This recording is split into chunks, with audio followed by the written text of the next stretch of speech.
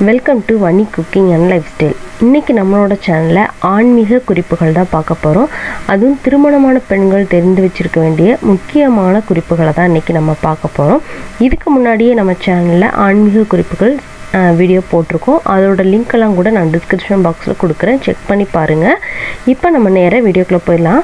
அதுக்கு முன்னாடி நம்ம சேனலுக்கு இப்போ தான் நீங்கள் ஃபஸ்ட் டைம் வரீங்க மறக்காமல் சப்ஸ்கிரைப் பண்ணிக்கோங்க. பக்கத்தில் இருக்கிற பெல் ஐக்கானையும் ப்ரெஸ் பண்ணிக்கோங்க. வீடியோவை ஸ்கிப் பண்ணாமல் பாருங்கள் டிப் நம்பர் ஒன்று கோவிலில் அங்க பிரதட்சணம் பண்ணுவாங்க இல்லையா? அது வந்து பெண்கள் வந்து பண்ணவே கூடாதான்.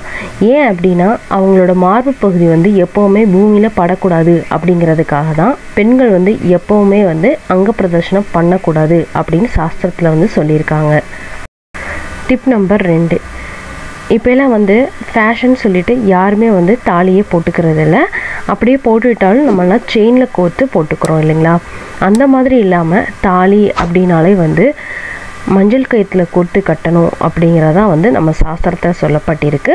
அதனால் நம்ம செயினே போட்டாலும் அதுலேயும் கொஞ்சமாக மஞ்சள் கயிறு சேர்த்து அதில் வந்து திருமங்கலத்தை கோர்த்து சேர்த்துக்கணும்.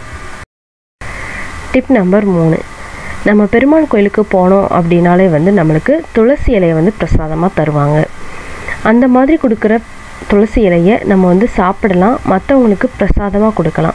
அதை விட்டு நம்ம வந்து அதை தலையில் எக்காரணத்தை கொண்டு வைக்கக்கூடாது அப்படின்னு நம்ம சாஸ்திரத்தில் சொல்லியிருக்கு.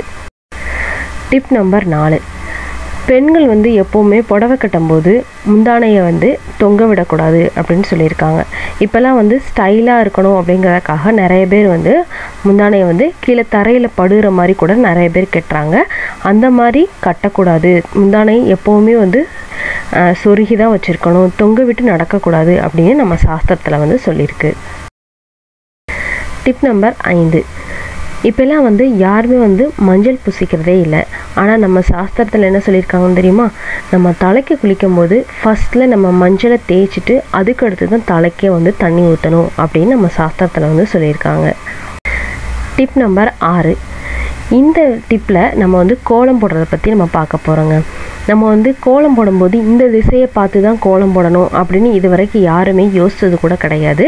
ஆனால் நம்ம சாஸ்திரத்தில் அதையும் வந்து சொல்லி வச்சுருக்காங்க.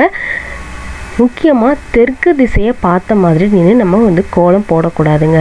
மற்ற திசைகளான கிழக்கு மேற்கு வடக்கு அந்த திசையை பார்த்த மாதிரி நீங்கள் வந்து கோலம் போடுறத வழக்கமாக வச்சுக்கணும் அப்படின்னு நம்ம சாஸ்திரத்தில் சொல்லியிருக்காங்க.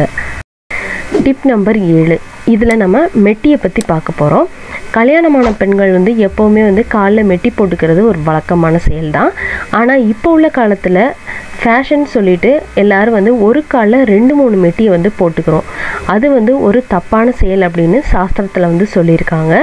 அதனால என்ன ஆகும் அப்படின்னு பார்த்தீங்கன்னா முதல்ல நம்மளோட உடல் ஆரோக்கியம் அதாவது பெண்களோட உடல் ஆரோக்கியம் வந்து கெட்டுரும்.